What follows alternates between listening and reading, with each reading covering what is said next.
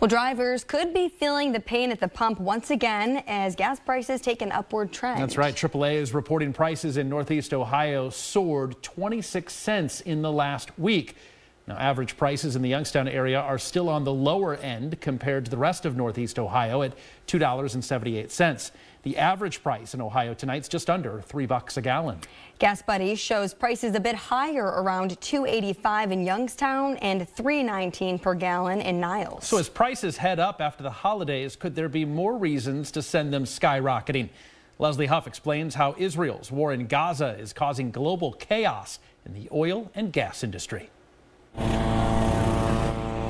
In response to Israel's war in Gaza, Houthi militants in Yemen are attacking oil tankers traveling through the Red Sea, one of the world's most essential shipping routes. Oil companies like Shell and BP have suspended shipping through the route. Some industry experts believe this may cause gas prices in the U.S. to increase over the next six months to a year. The way gas speculation uh, prices go, we're going to probably see an increase pretty soon. Uh, but I think Shell even said that look forward to yeah 10 to 15 percent gas in- increases as we're going along. It's because oil companies are now forced to find different trade routes to avoid any airstrikes. Many oil and gas tankers are rerouting all the way around Africa, adding almost 10 days to their trips. They're trying to reroute ships, which is costing them more money and uh, ultimately that's going to then be passed on to you and me.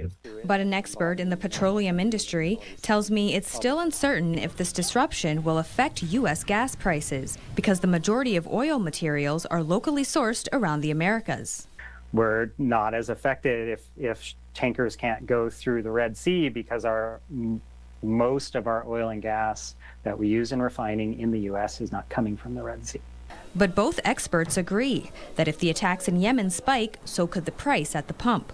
With more local news, I'm Leslie Huff.